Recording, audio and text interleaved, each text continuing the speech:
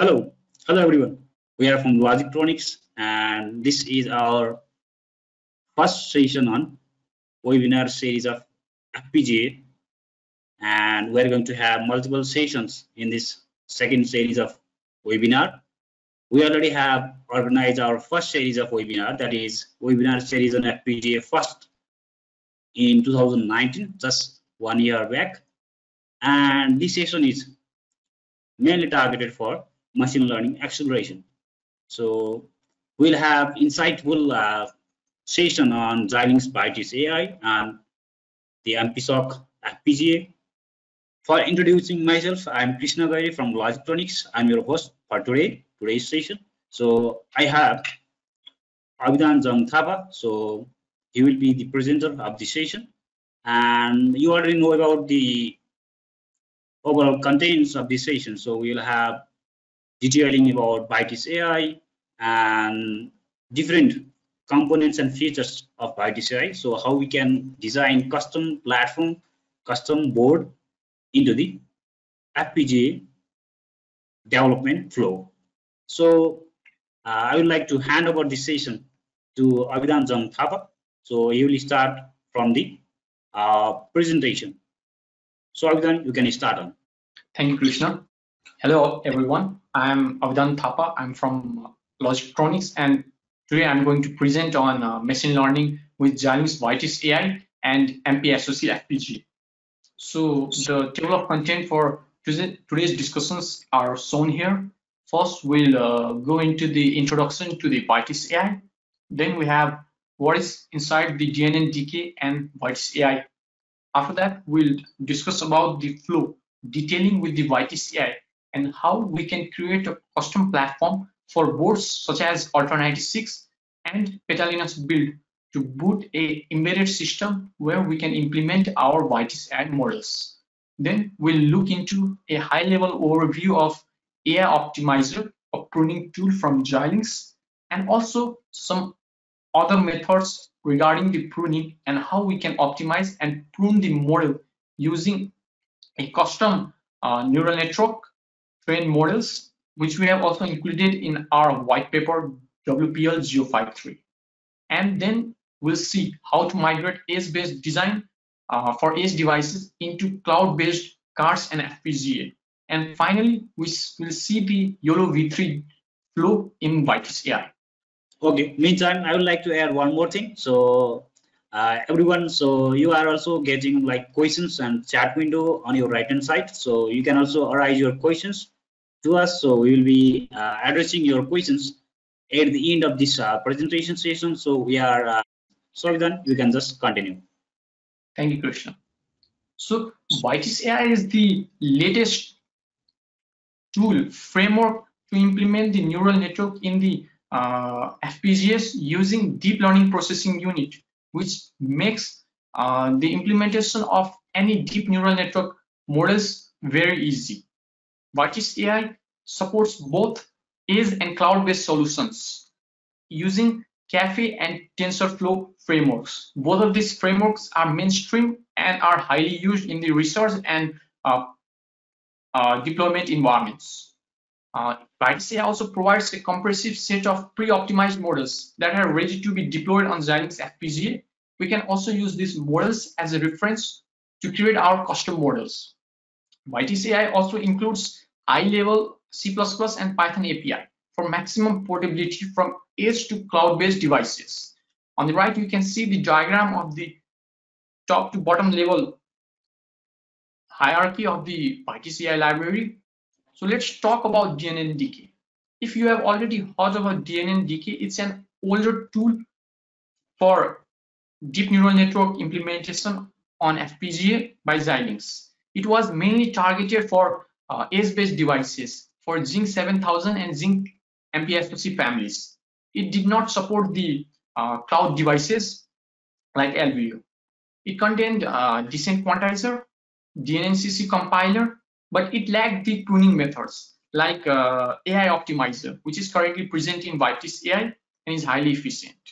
The older DNN-DK version DPU only supported up to the three cores, which limited the performance in uh, some high performance video application cases and uh, where real-time performance were required in some complex high-level models.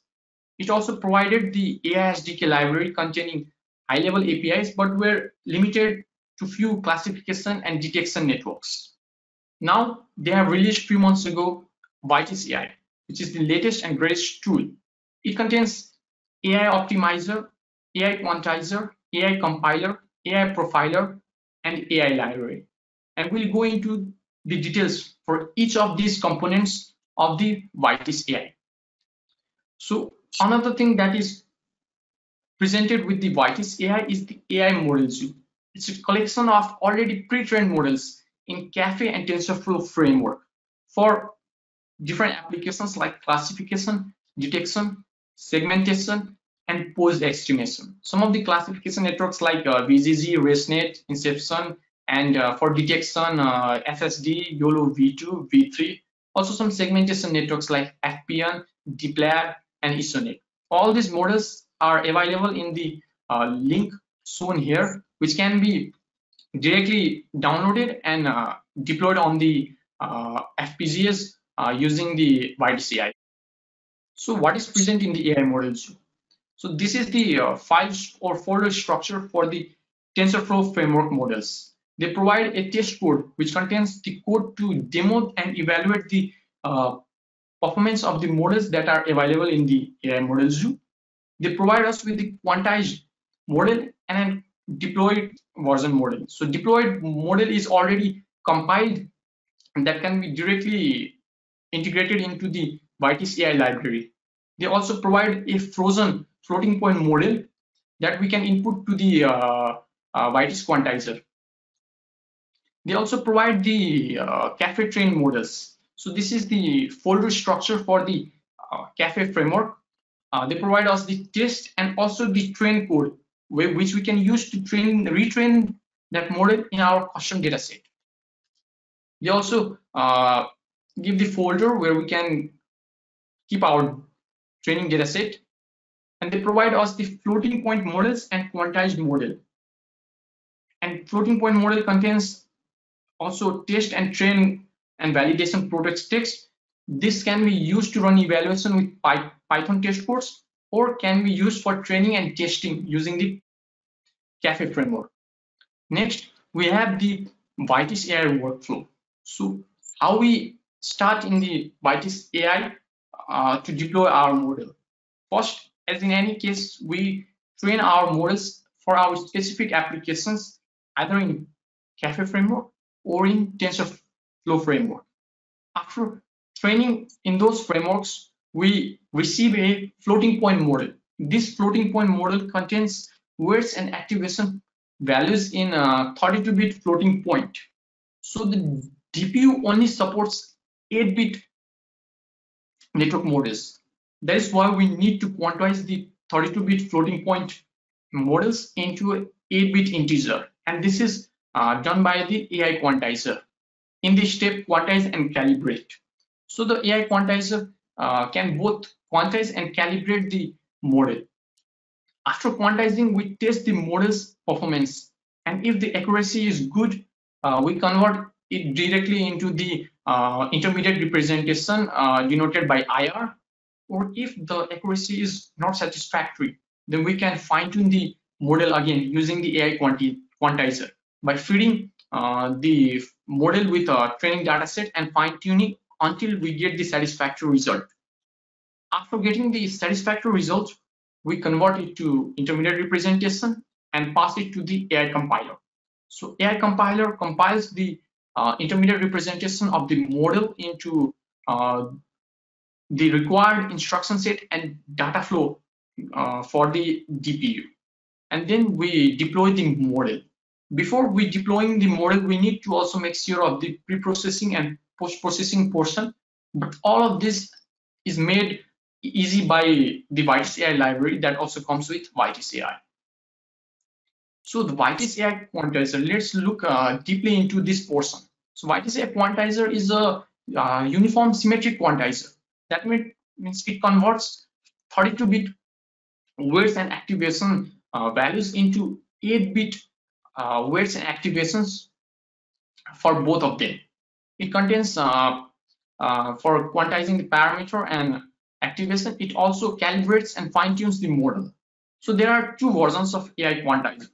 One is for CPU and another is for GPU.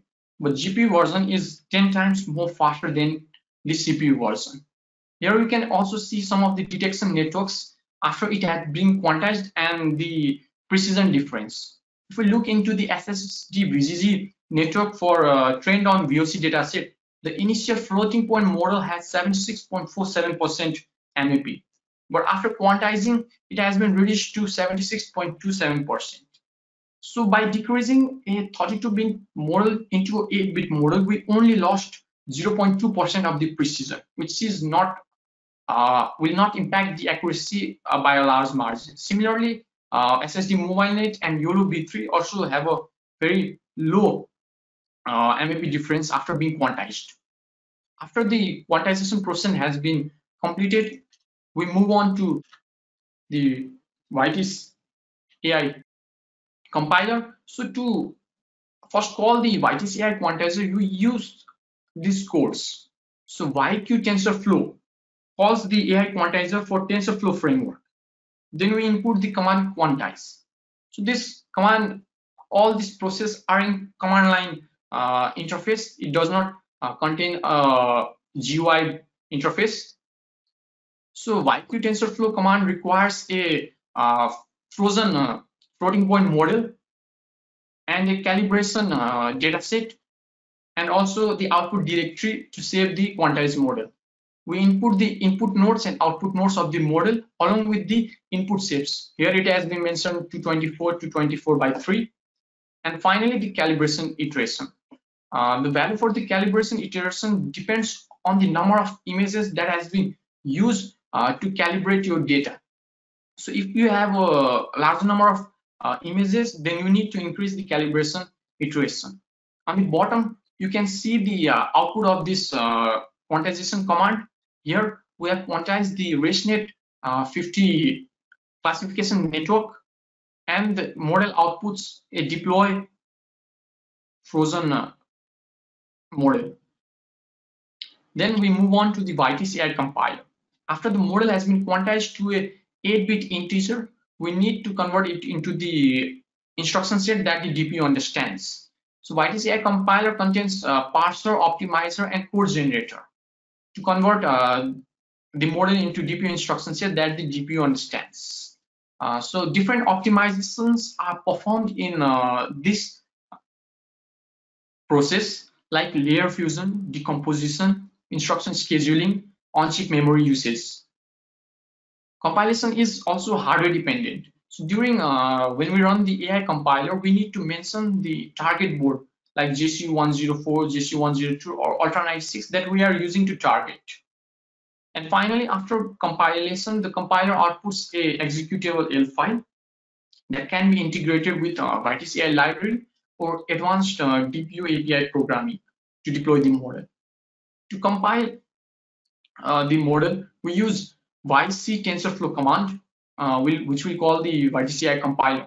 It requires a quantized model uh, the information about the target architecture board and the output directory where the model will be saved after being compiled and the net name. Uh, so the net name is the uh, name of our model after it has been compiled and other optional options like uh, save kernel and there we also have modes for normal or debug models.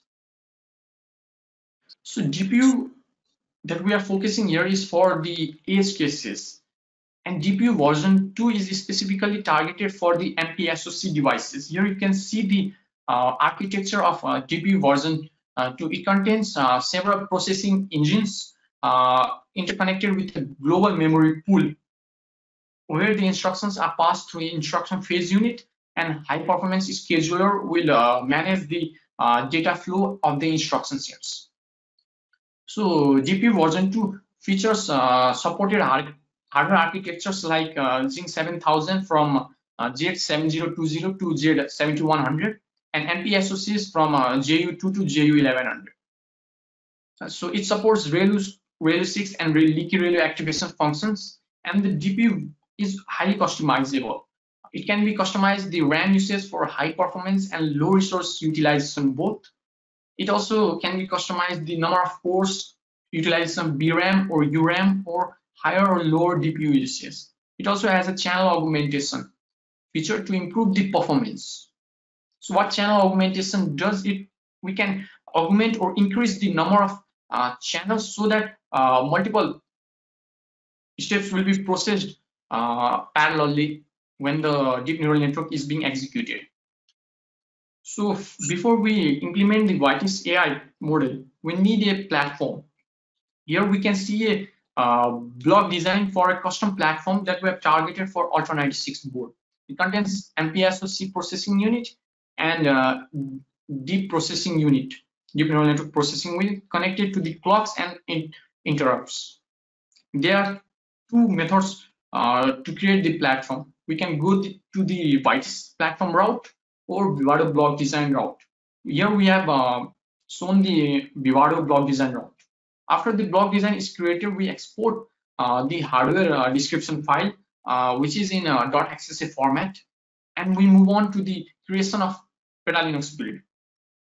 In PetaLinux build, first we need to create a project using a template for the Zynq MPSoC. Since we are targeting the Ultra 96, then we change the directory to the PetaLinux project then we import the hardware description file that is file format by using get hardware description command. After this, we need to add a few packages which are required to support our DPU and Vitis AI library.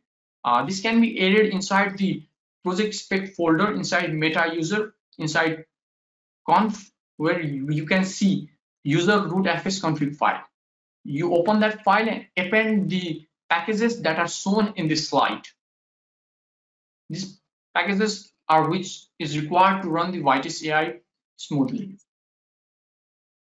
Then we run the PetaLinux config minus c rootfs command, which will open the configuration uh, interface for the uh, packages.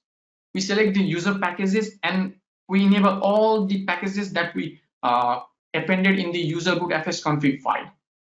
After that, we save and exit. Then now we need to update our uh, device tree file. The device tree file is inside the meta user recipes BSP device tree file folder where you can see system user.ddsf file. Here we need to append the device tree information for our ZOCL uh, driver.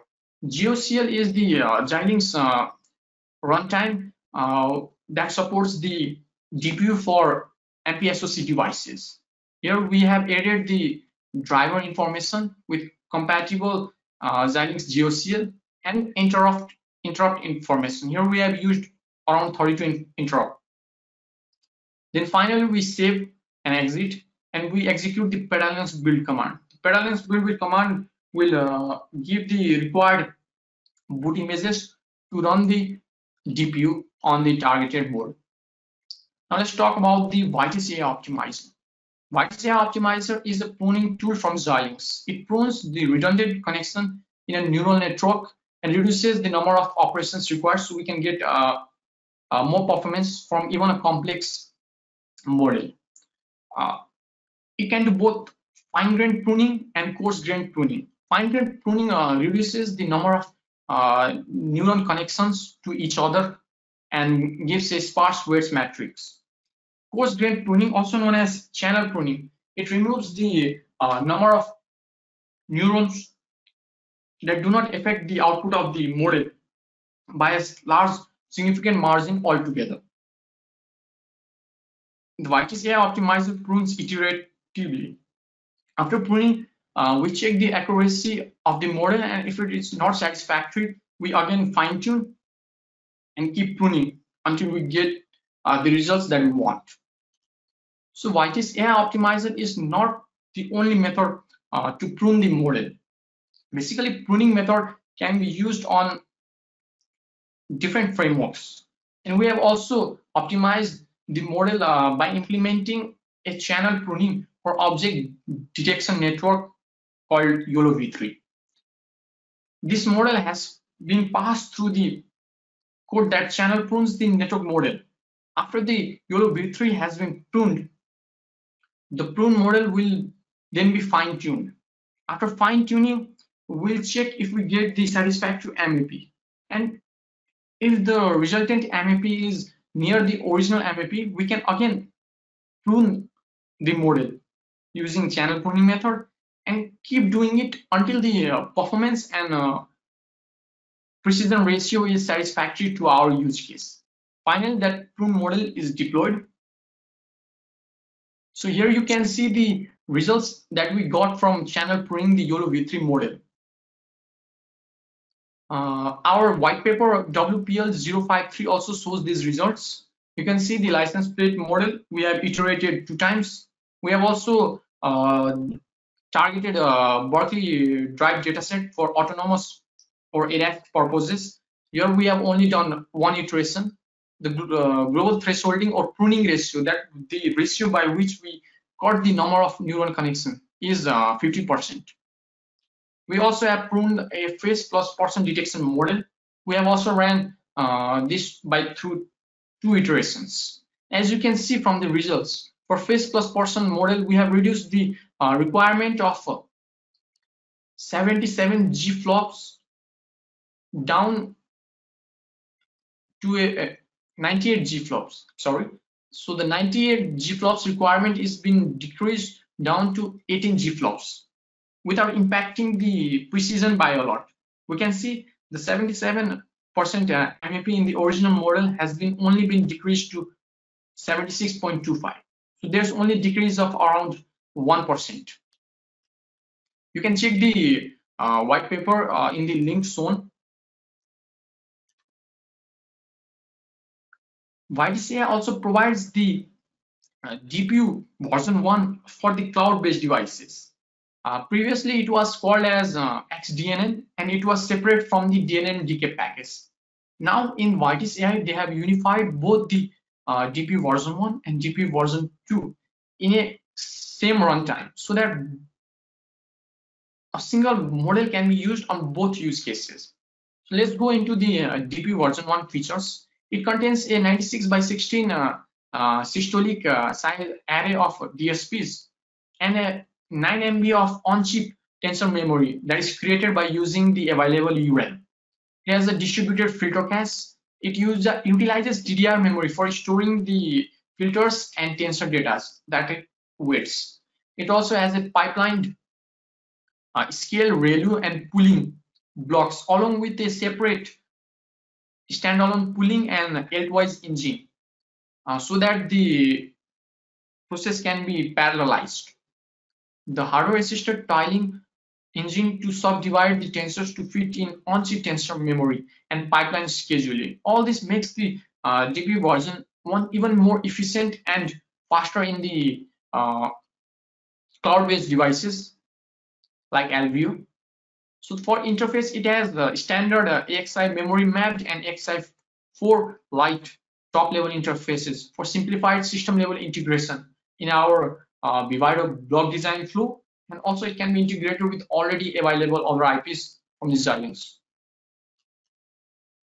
So let's talk about how the model that has been deployed in the edge can be migrated to the cloud. So this has been made easy uh, by introducing a Vitis runtime. So this Vitis runtime uh, has a unified APIs and unified implementation of network models. It can do efficient task scheduling, multi-threading and memory management. Due to this, the model that we target for the is can be implemented in the cloud without having to change the uh, deployment code because the Vitis AI runtime provides a unified APIs both in uh, high-level C++ and Python languages. These unified APIs are common for both uh, edge DPU and cloud DPU. And using this, we can deploy a model written for one into the another with, without any drastic changes. So these are the unified APIs uh, that are provided. For C++ APIs, you can see there are seven APIs like create DPU runner, that creates the tasks to run on the DPU, execute async, uh, which runs uh, asynchronous tasks on the DPU, uh, DPU runner wait, which uh, waits for the previous task to complete, get tensor format, uh, which uh, retrieves the format of the tensor in the neural network model, get input tensors, and get output tensors.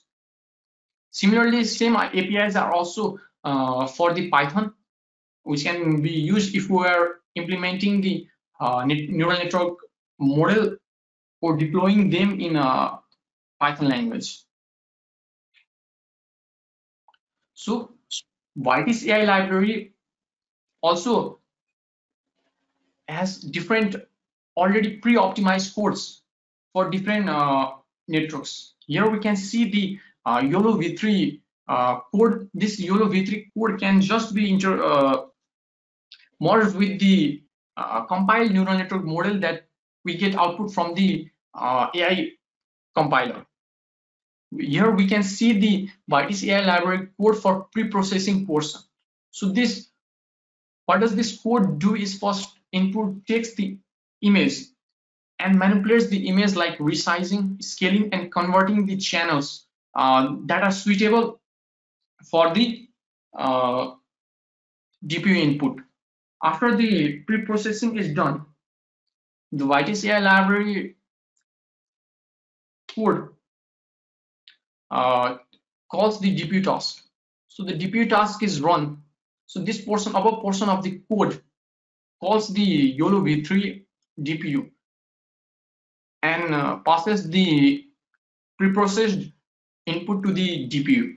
After the DPU runs, it outputs the results or uh, tensors. After that, we have post-processing portion of the code. So the post-processing portion of the code includes uh, either preparing the output results, creating the bounding box, and also showing the results in the manner uh, that can be understood by the uh, viewers. Here we can see some of the results of YOLO v3 that we have done in our license plate detection model and also person detections. So these are some of the results. Also, we will have the live demo of YOLO v3 with custom Vitis platform on our Vitis AI session 2, where we'll show the live demo and end-to-end -to, -end flow of our implementation.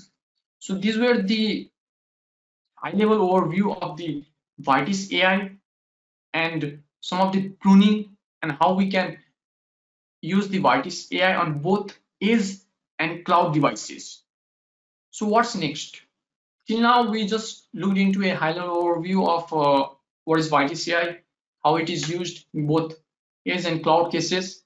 In our next session, we're going to look more deeply into the advanced Vitis API programming, which can be used to create for our own custom models apart from the models that are available in the uh, Xilinx AI Model Zoo.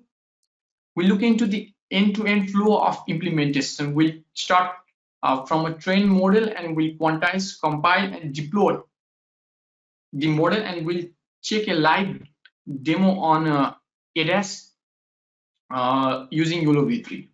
We'll also look into a Vitis AI model deploy uh, demo on the cloud devices. So those who have already registered for this webinar will get the link to them soon. And those who have not registered yet can go to the link given on this presentation. So these are some of the references uh, that we use to uh, create this session. So this was all for today. Thank you. So thank you. Thank you, Abhidan. So thank you for the insightful session. So I hope the Vitis AI flow is uh, quite more uh, interesting and our participants also get an overview of this uh, flow, uh, flow, and uh, they also get uh, some idea about what is the features on Vitis AI in talking about uh, while we are or they are using DNNDK previously. So what are the new things come up with AI and how we can uh, target the edge-based devices or MP-SoC and cloud-based devices like Alveos for uh, development with Vitis AI. So Vitis AI can be utilized for targeting edge-based devices and cloud-based devices. So these all are the uh, features including Vitis AI and uh, yeah, Abhidan also focus on the pruning. So we also have WPL 053 that is white paper. So uh, you everyone guys, uh, you can also check our website LogicTronix and we'll also send you the uh, PDF version of this presentation along with uh, recorded session, recorded this uh, webinar session. So you'll also get the recorded version of this webinar in the email. So we'll uh, send you in the email. So let's go to the uh, Q&A session. So we have uh, questions from our participants. So I would like to start on the Q&A and I'm talking about Q&A. Uh, so one question is on AI is software or hardware. So uh, can you just add few few things on it? So Vitis AI is a collection of both uh, software library and hardware processing unit. In the hardware processing portion, it contains uh, deep processing unit, uh, which is implemented on the FPGA. On the software portion, it contains the Vitis AI library, uh, which has the high level uh, APIs that can be used uh, to deploy our model on the hardware DPU. Okay, so I hope the questions has been addressed on. So is is uh as we talk on this presentation in this webinar, so Vitis AI have uh, different uh, models which are uh, already available and for targeting the custom boards or the Xilinx board, there are also uh, some references. And for Xilinx board, there is uh, DPU TRD targeted with Vitis AI. And you can just check on Vitis DPU TRD on GitHub. So you will get the uh, TRD for ZCU 102, 104. And 106 is also, I think, uh, going to release very soon. And so the Xilinx boards already have the Vitis AI DPU flow. And for the custom boards, we also have so a few uh, uh, steps targeting the Ultra 96 from Avnet. And we can also target the custom boards. For that, we have to have uh, follow to follow the Vivado and Linux flow, so we can build the custom platform. So uh, we have few more questions, and uh, one more question is uh, uh, cost of the tool. So uh, one question is on cost of the tool. So basically, Vitis AI is uh, not required. Uh, it doesn't require to have the license. So Xilinx provided Vitis AI free of cost. So you don't need to have any further cost on it. And for the AI optimizer, so they have uh, different model licensing model for AI optimizer. However, for AI, there is no uh, cost model. And one more question we also have, uh, cost of the processing unit. So I think the questions uh, must be uh, targeted for uh, processing unit means the DPU. So uh, if the question is targeted for DPU, then actually there are in in the DNNDK flow there was the timeout version of DPU IP released on public website. However, on the uh, FAE request, uh, the field application engineers request, while you request to FAE, then they can just uh, coordinate to provide you the non-time limit or say full IP. I'm talking about the DNNDK. So then can you just add on how it works on Vitis? So the DPU licensing or um, processing unit cost uh, comes uh, with the Vivado license. Mm -hmm. uh, currently, it is uh, free of cost. You can uh, download uh, from their GitHub link and add the repo in the Vivado, and you can use it free of cost. Yes, the DPU comes with the Vitis AI. So, so I would like to just uh, enlighten that uh, Vitis AI uh, does not need extra license, and DPU is also comes up with Vitis AI. So you don't need license for Vitis AI and DPU. So uh, uh, do Vitis come with DPU? We have one more question on do Vitis come with DPU? So DPU is actually the IP. So like say module from Xilinx. So they also have uh, like uh, two version of DPU as we discussed. One is for ASBase uh, implementation MP-SoC, which is uh, DPU uh, version, and another also another version is also there that is for cloud-based. So Abhidan, can you just highlight on it again?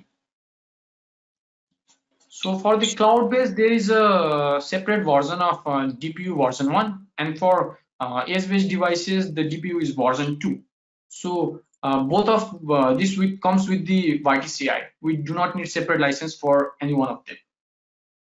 Okay. So uh, we also have one more questions uh, that is, is it purely Python code? So how can we answer this question? So the backend backend of Vitis-AI is written in the C++. Uh, it also has a Python wrapper. Uh, so we uh, you can also deploy your model in pure Python code, or you can also deploy your model using C++ uh, APIs. So they are both C++ and Python code are supported. Okay, that's nice. So that's nice. So there are many implementations or there are many um, uh, engineers working with Python uh, based frameworks. So they can also target the Python. And I think uh, the TensorFlow is also there. So uh, we can utilize the TensorFlow based uh, frameworks and Python is supported previously in DNNDK. Uh, LogicTronix team actually developed our solutions based on C or C++, the C++, and with Vitis-AI, it is also uh, Vitis-AI also allow us to develop our solutions on Python. So this is the quite uh, interesting questions, and I think uh, these are the main questions, major questions, and uh, we like to conclude uh, the sessions. And let's check one more questions. So there is one more questions about the difference between Vitis and SDK. So Abhidan, can you just highlight on it? difference between Vitis and SDK? Vitis is the newer tool that uh, uh, supersedes the previous SDK. So in previous SDK, it was only to create the applications uh, to implement in the embedded environment or Xilinx FPGA. So the current Vitis tool that Xilinx has released is a combination of the previous SDAccel, SDSoC, and SDK. So using Vitis, if we create a Blazed platform, we can create different applications in both C++ OpenCL. Previously, that was possible in SDAccel and SDSoC. But now they have merged all these three, SDK, SDAccel, and SDSoC tools into a single tool called Vitis to make the workflow even more easier. Okay, that is also interesting point. So Vitis-AI have uh, lots of things. So it just uh, is the superset of other Xilinx tools uh, like uh, Vivado. It, it covers up Vivado and it also have Merge SDK. And if, if you just check on the latest Vivado versions, uh, uh, it just comes up with Vivado only. So there there is no SDK. as I know, Abhidan will add on it. So in the latest 2019.2 version, there is no SDK the portions that we used to do in uh, SDK are uh, now required to be done using the Vitis tool. Okay, uh, that's nice. Uh, that's nice. And as we mentioned, we are also going to we are also going to send you a recorded webinar uh, link on the email. So uh, we'll send you the link, webinar recorded link, and we'll also send you the PDF version of our presentations. And I think uh, uh, this is all the questions which we have uh, get on today's session. And as we mentioned, we are going to have a second session on Vitis-AI. Actually, uh, we did not have uh, cover up the uh, demo live demo sessions in this session because uh, the demo will take little time or it, it, it standly take the time. So we want to just focus on demo on next session. So we will uh, have a quite interesting demo with next session. So thank you everyone. Thank you guys uh, for this session, for your questions. And if you have any questions, we are always uh, uh, responding you you guys on the email. So you can also connect us at email info at logictronix.com. Or we are also actively uh, uh, uh, answering and actively addressing uh, queries uh, over uh, our LinkedIn pages and other social media networks. So thank you everyone for your questions and for your participation. Uh, LogicTronix would like to uh, thank you uh, for your time and for attending this session. So thank you. Thank you, everyone. Thank you. Have a good day.